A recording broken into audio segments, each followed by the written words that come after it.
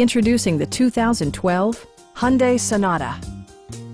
This four-door, five-passenger sedan leads among competitors in its segment.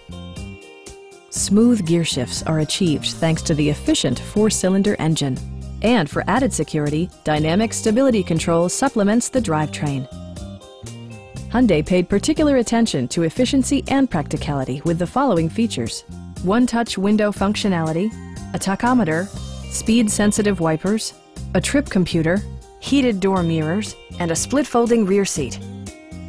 Audio features include a CD player with MP3 capability, steering wheel mounted audio controls, and six well-positioned speakers.